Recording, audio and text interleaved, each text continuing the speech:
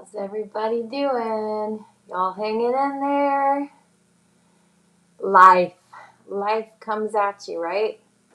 Well, I um, am glad to be a part of your day, and especially if I can encourage you.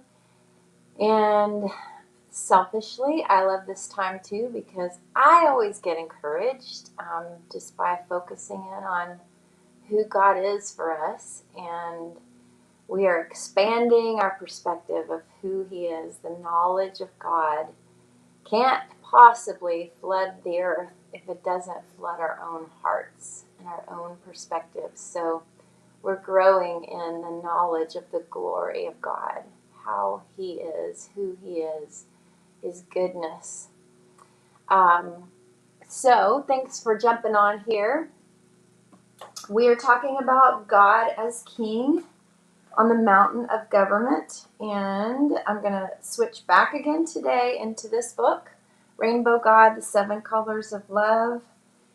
And I will remind you again that we wrote this whole book, and especially this chapter, before we had the understanding that we currently have of how serious things are in government. And uh, so we might have written it differently, but it's uh, the, the, the heart of it is still the same. So I'm going to begin here. If you have the book, I'm on page 112, and it's a section called Who is God as King? It's hard to trust a God, uh, this is me speaking, it's hard to trust a God that allows suffering and pain.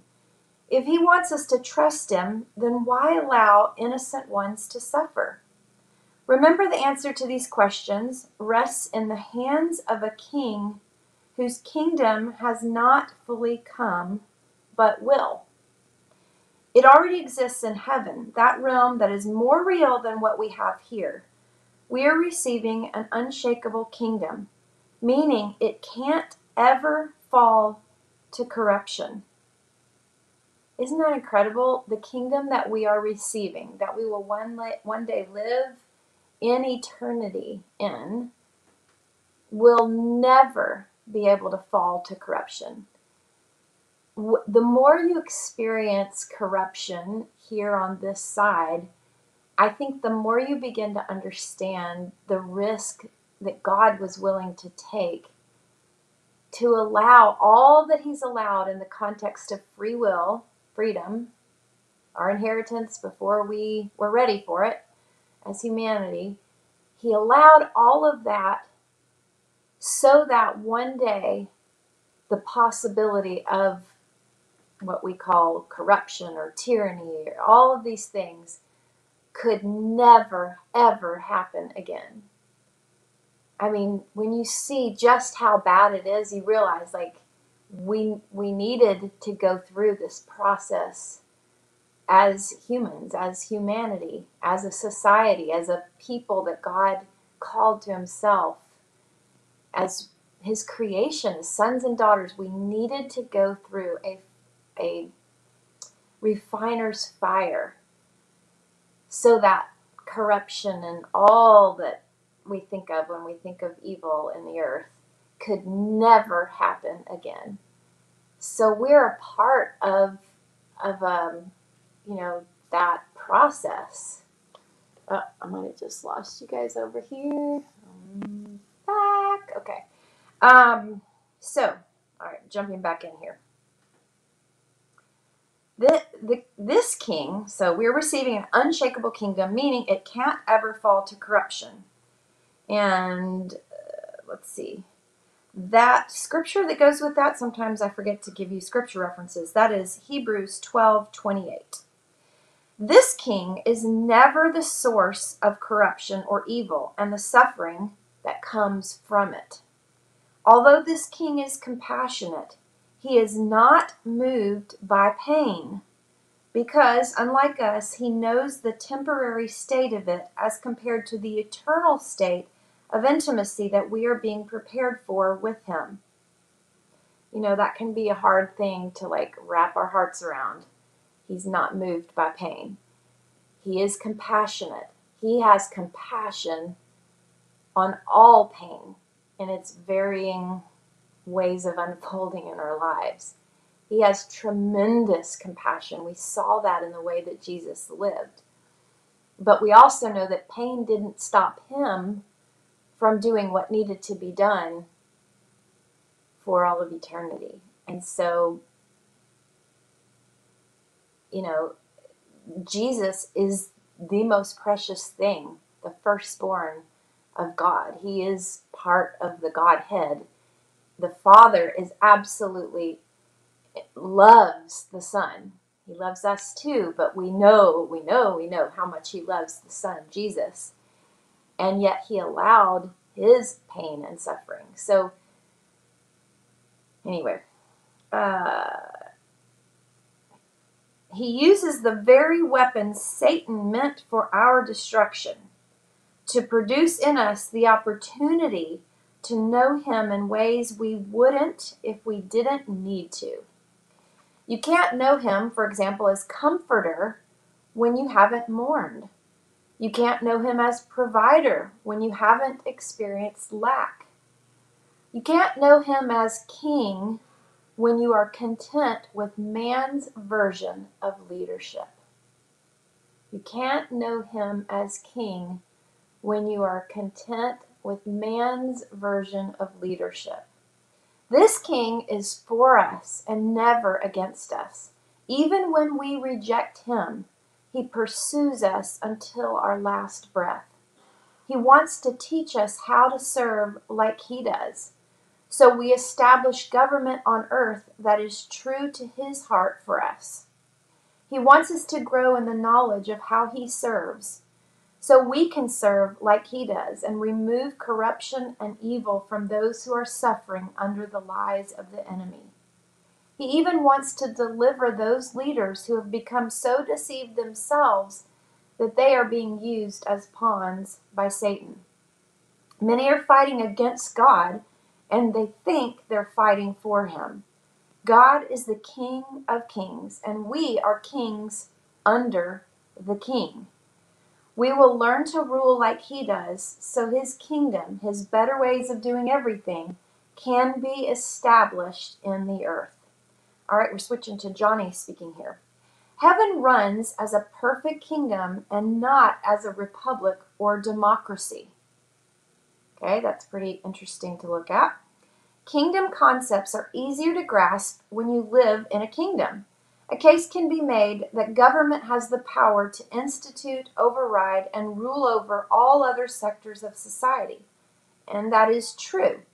Government is ultimately where power is officially consolidated, especially in a kingdom context. All the power sits at the top. Here on earth, we've established alternative government structures designed to provide checks and balances for too much centralized power. But of course, in heaven, there is no such concern. The Bible says of God that righteousness and justice are the foundations of his throne. That's Psalm 89 14. Excuse me. This means everything is done from the king's heart of pure integrity and pure fairness. You don't need checks and balances of power based on that kind of foundation. God the King doesn't have to try to be just. He is by his very nature. He doesn't have to continually remind himself of Stephen Covey's, Covey's uh, Seven Habits of Effective People. He contains in his nature the perfected versions of whatever experts admire as good character. God is completely perfect in governmental character governmental strategy, and governmental execution. You would think that we humans might want to invite in such a wise and accomplished ruler. But here again, we find ourselves reverting to our orphan spirit that acts like we just have to figure out everything on our own. To know, um, this is, we'll finish with me here. To know the real God as King we must continue to look at how Jesus lived. Jesus taught us that in order to be a true leader, we would need to be a great servant. He modeled his authority as king by laying his life down. He taught us to obey our Father by being obedient himself.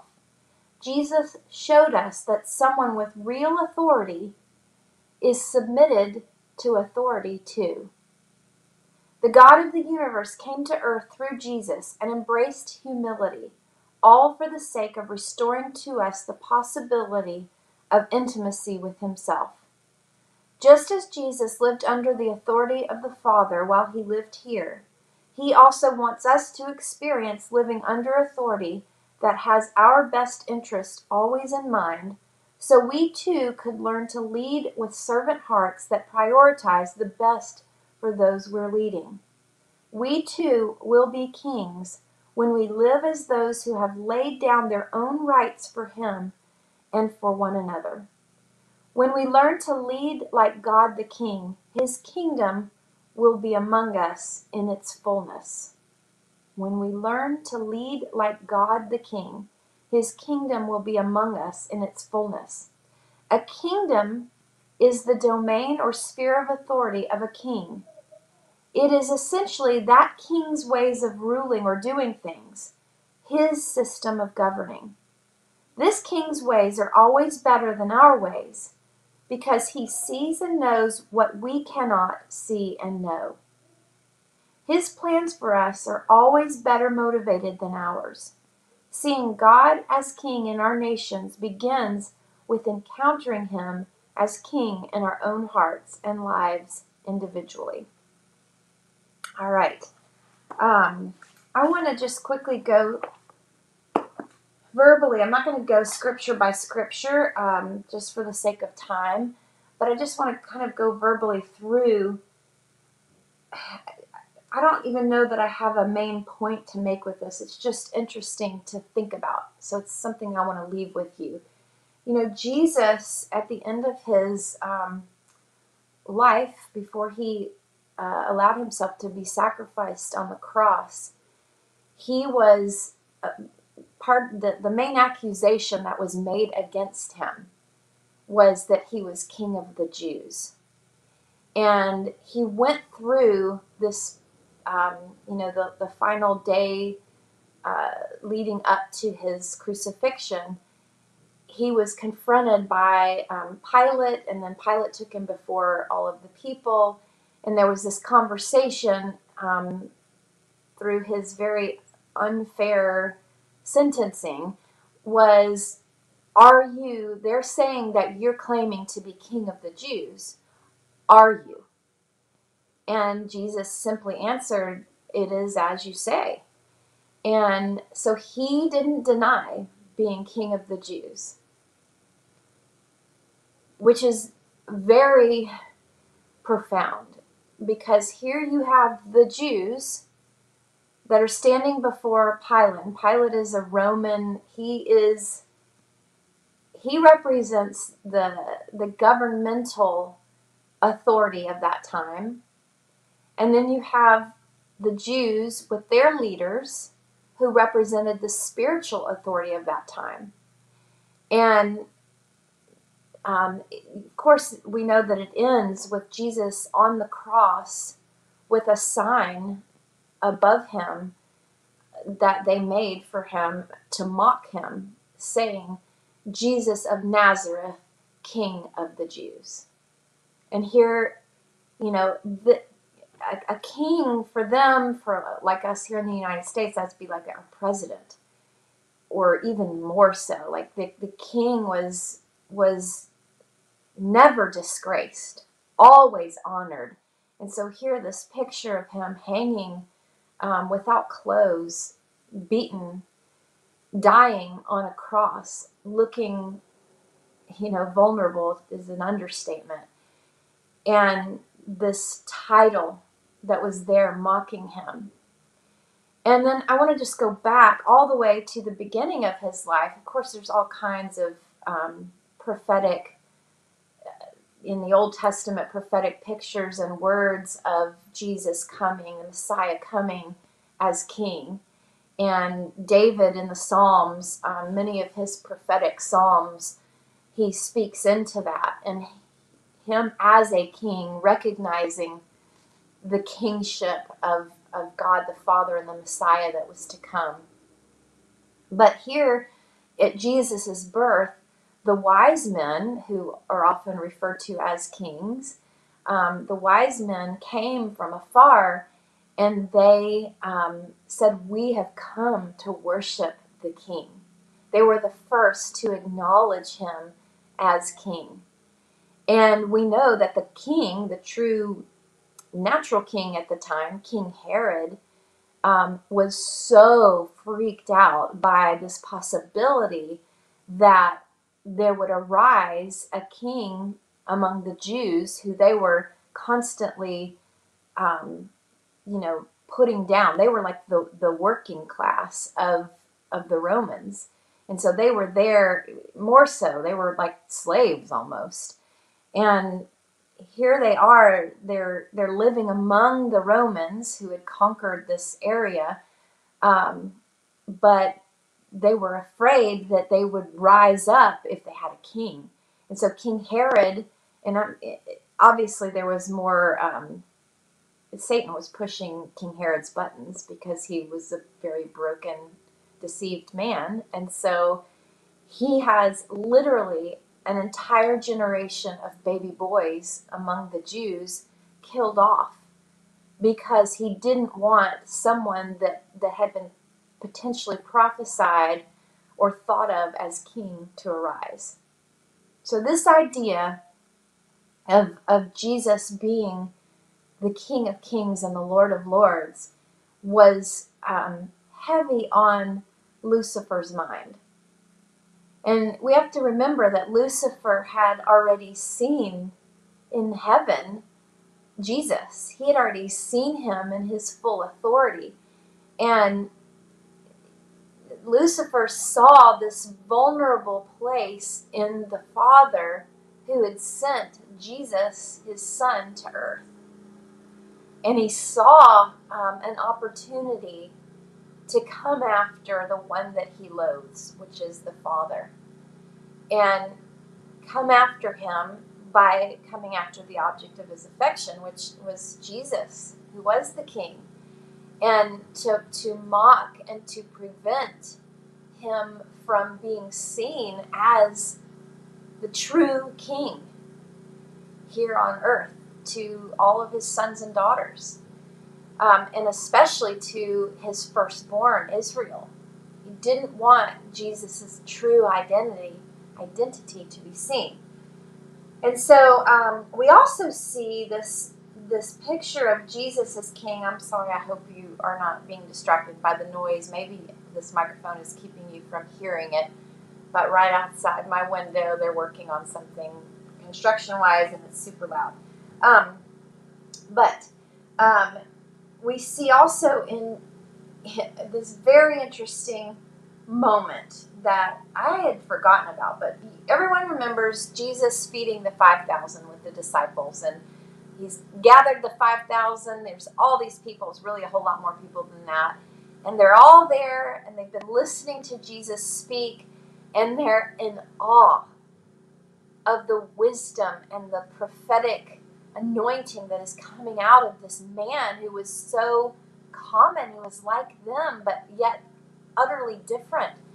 And they have, they get to this place where they've been there so long that they're so hungry and Jesus works this miracle where, where he includes his disciples, the King of Kings. He's teaching them how to lead by serving. And he takes the least of these, this little boy in, out of the crowd who has a little bit of food, the, the infamous um, five loaves and two fishes. And he takes it and he tells, you know, without going blow by blow, they multiply it. There's enough food overflowing for everyone. There's even 12 baskets left over when they're done. And um, here we have this little verse right at the end of this section on the feeding of the 5,000. And it says, And Jesus perceived that the crowd was going to force him to become king So he quickly departed from them and went alone to the mountain. Wow. So here they are. There, there's this climate governmentally um, that they're all so eager. This has been prophesied for generations that a king would come, a Messiah would come among them. But their thinking was so narrow that all they could think of was him ruling and reigning right then and there for their generation as king in the flesh. Not understanding the bigger picture of what God was actually sending Jesus for. King for all of eternity and King of kings, those who would rule and reign with him. Um, and then, of course, there's this moment that we always celebrate um, around Easter time, which is the King, Jesus, coming in on a donkey, riding into Jerusalem on a donkey.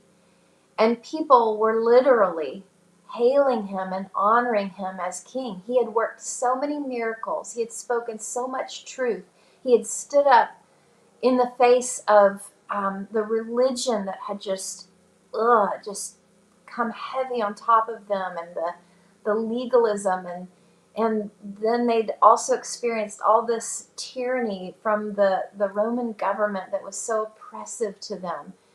And here is Jesus. And so they genuinely were honoring him as king. And they were Jews who had come to believe in him, in the Messiah. And this king chooses intentionally a donkey to ride in on. It's amazing. So he's demonstrating for us the humility that he has as king. He's demonstrating for us the heart of our Father. I mean, literally, he could have come riding in on anything, on anything that we could dream up. Wow, you know, he chose a hee haw donkey. that that was like the the symbol for them of of work. Work. Like the donkey carried things for them. Amazing just when you really let that settle in. Especially when you see the bigger picture of Jesus, the Jesus as King representing the authority of God Himself, of all of heaven. All power is in this idea of this reality of Jesus as King, God as King.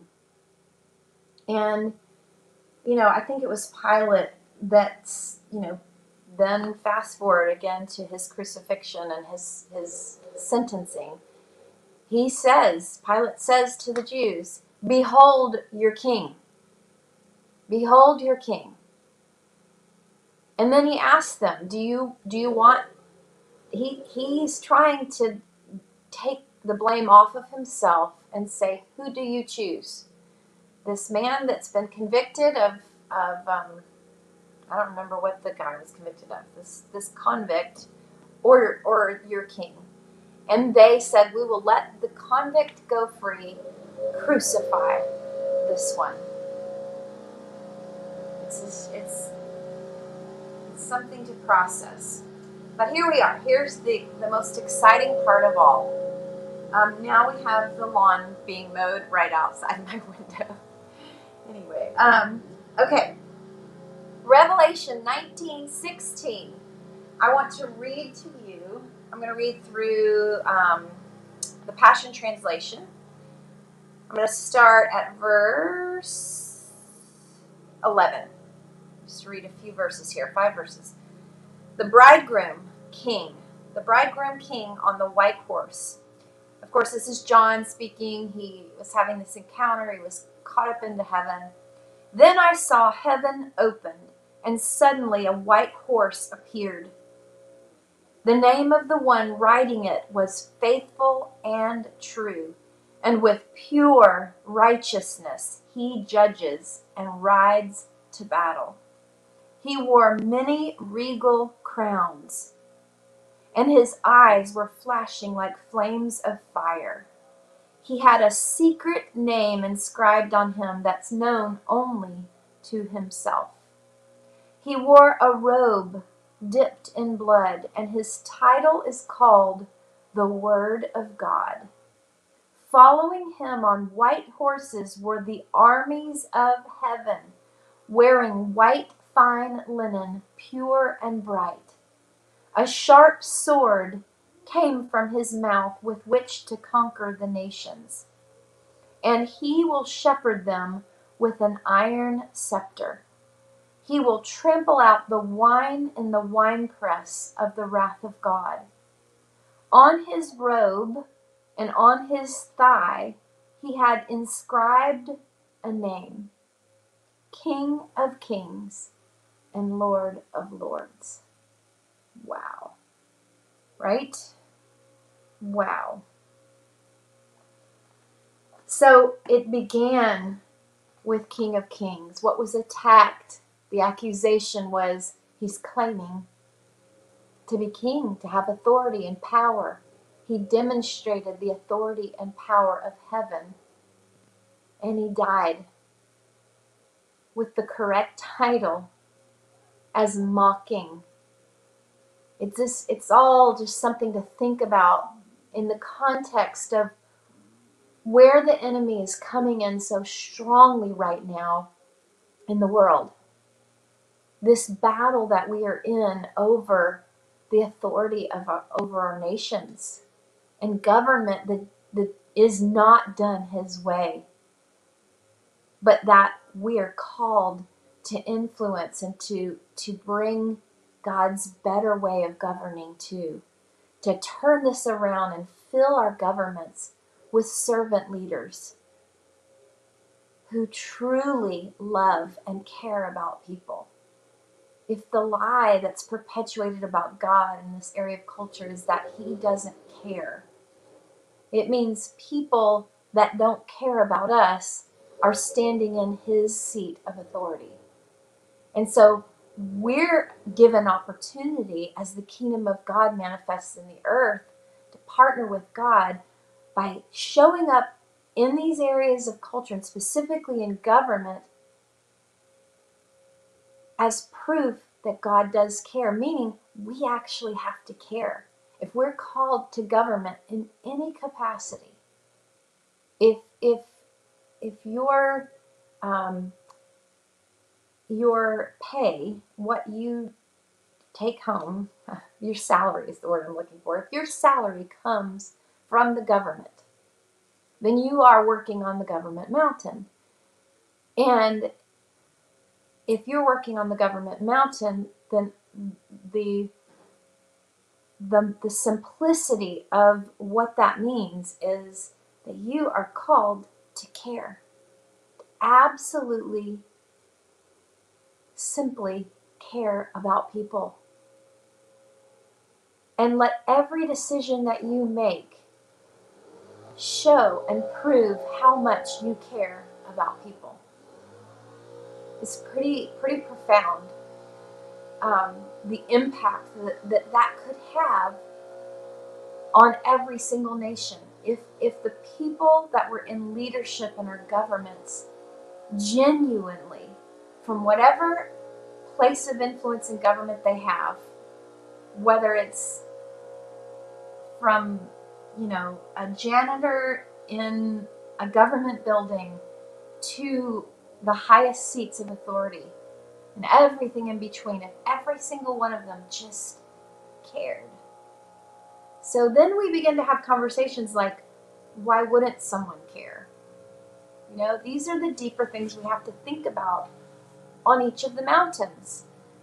The heart behind it and then how do we Jesus there's this this this profound concept of King of Kings, Lord of Lords. Jesus constantly included others in his leadership.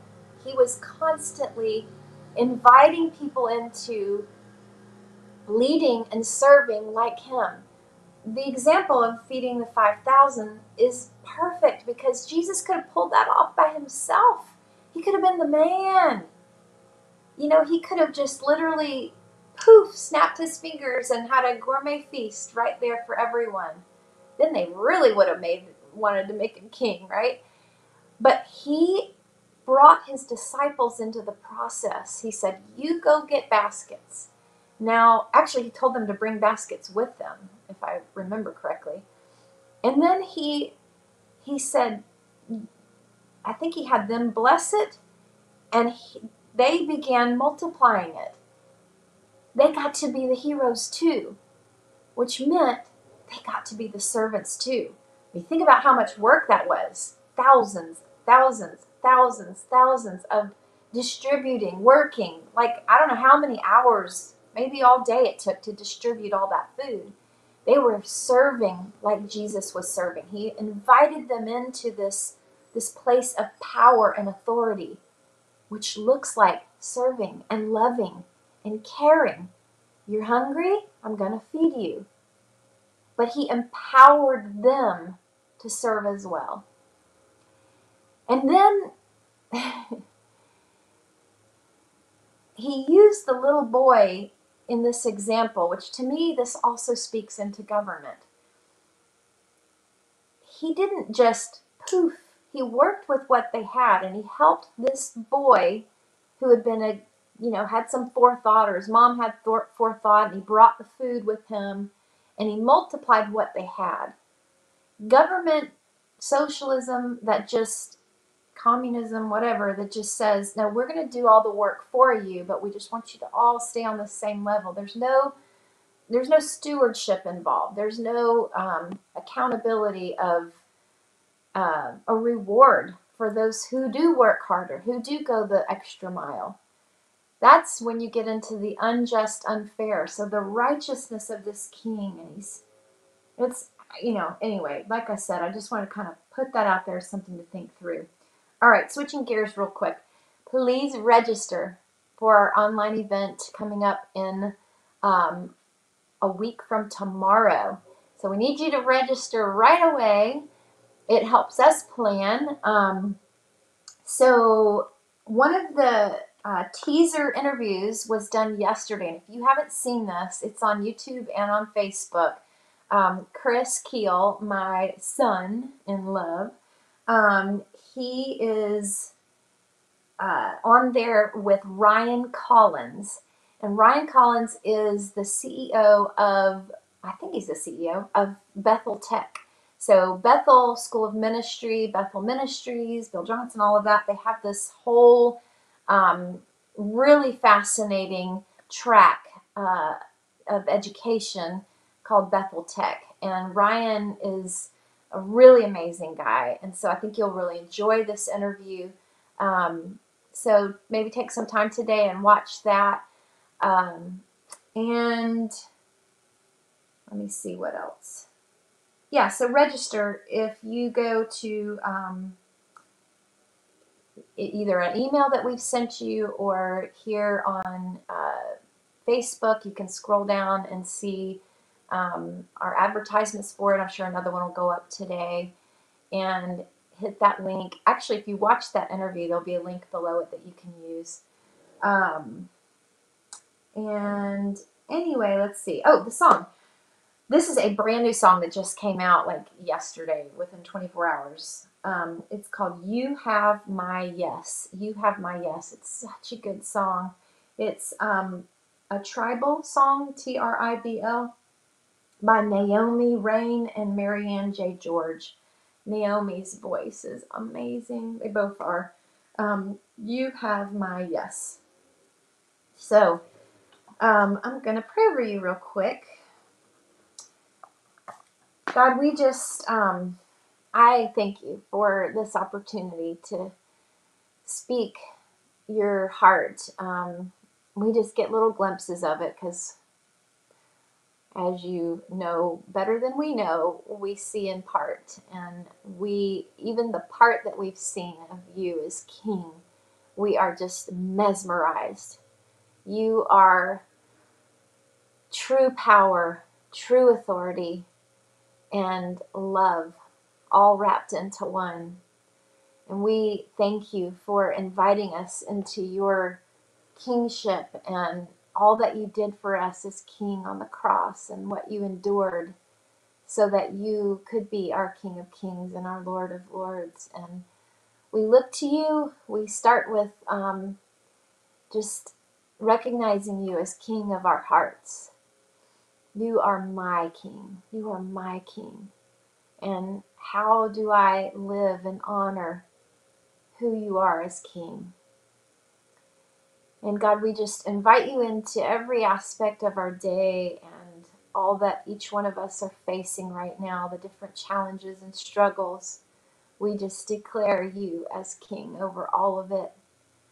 And we thank you that we can run to you and you speak life and wisdom and solutions over every one of these areas.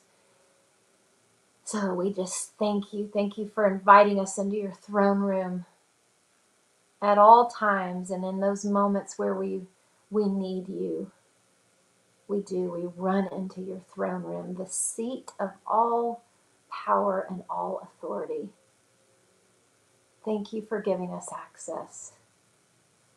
We love you. We worship you. In Jesus' name, amen. Okie dokie. Well, uh, yes, he knows exactly what he is doing. I love it. He is the best possibility of possibilities. Marina, you've got some great things to say today. That's so good. Kathy, you said you watched Chris yesterday. Oh, and you liked the worship song yesterday, right? Yeah, it was so good. All right. Love you guys. See you tomorrow.